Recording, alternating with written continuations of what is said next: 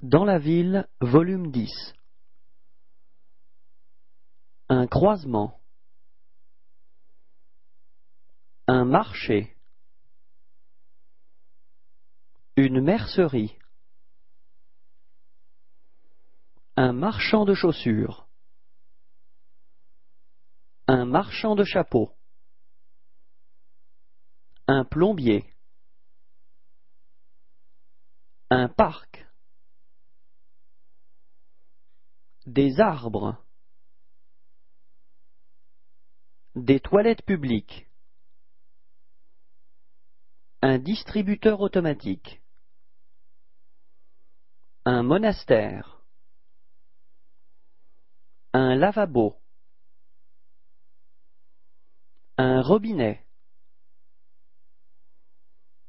Un savon.